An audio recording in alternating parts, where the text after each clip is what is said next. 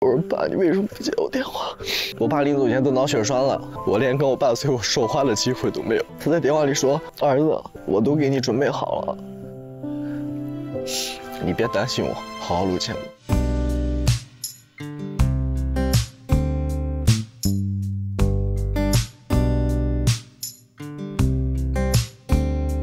其实我从小到大，我没有觉得我的父亲或者母亲会对我隐瞒事情。我爸什么事都跟我说，我妈也是。我在录节目，我爸知道自己得病一年，他没跟我妈说，也没告诉过我。我给我爸打电话，我说你为什么不接我电话？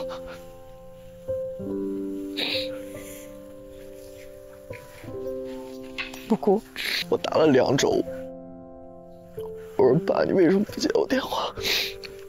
我爸已经住院了，他还在听。他说我没事。他说爸爸没事，爸爸很好。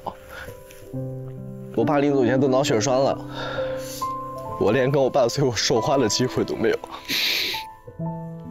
他在电话里说：“儿子，爸没事，我都给你准备好了，你别担心我，好好录节目。”我妈也从来没跟我说过这件事情。我觉得作为孩子要去了解大人的生活到底是什么样，他们在为你正在承担的事情是什么。我爸，你知道吗？一个月的时间。每天站在床头看，说不了话。我很后悔，我一直都觉得我特别爱我爸妈，我一直都觉得我我已经做了很好。我每天都会跟我爸妈说我爱你，我每天都会跟他们说我想你。我每天起来会给他们发信息，但我并不真正的了解他们到底是如何生活的。是我不在的时候他们是怎么过的？他们打电话了解的一切有可能都是假的。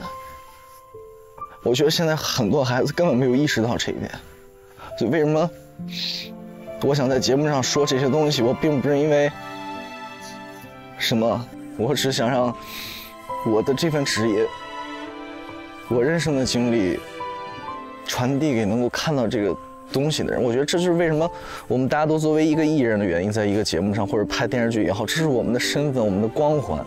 我愿意把这些光环分享给大家，不要再走这样同样的错误的道路。这就是我的，我做这个艺人的职业，所以我根本不 care 任何的东西，不管有多少人谩骂也好，怎么怎么样，都抵挡不住我要传递这个思想的正念。